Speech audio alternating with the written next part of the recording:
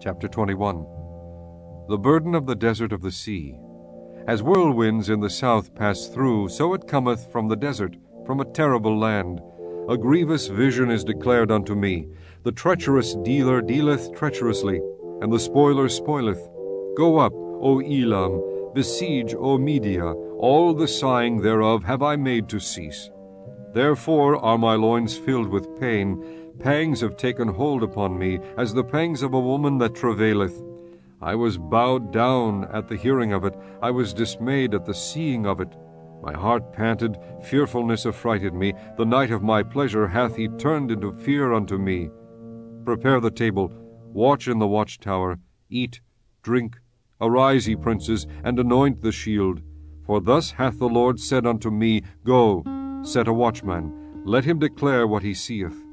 And he saw a chariot with a couple of horsemen, a chariot of asses, and a chariot of camels, and he hearkened diligently with much heed. And he cried, A lion! My lord, I stand continually upon the watchtower in the daytime, and I am set in my ward whole nights. And behold, here cometh a chariot of men, with a couple of horsemen. And he answered and said, Babylon is fallen, is fallen, all the graven images of her gods he hath broken unto the ground. O my threshing, and the corn of my floor, that which I have heard of the Lord of hosts, the God of Israel, have I declared unto you. The burden of Dumah, he calleth to me out of Seir, Watchman, what of the night? Watchman, what of the night?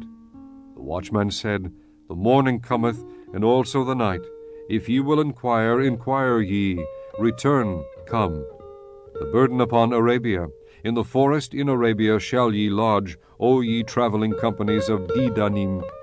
The inhabitants of the land of Tema brought water to him that was thirsty. They prevented with their bread him that fled. For they fled from the swords, from the drawn sword, and from the bent bow, and from the grievousness of war. For thus hath the Lord said unto me, Within a year, according to the years of an hireling, and all the glory of Kedar shall fail. And the residue of the number of archers, the mighty men of the children of Kedar, shall be diminished, for the Lord God of Israel hath spoken it.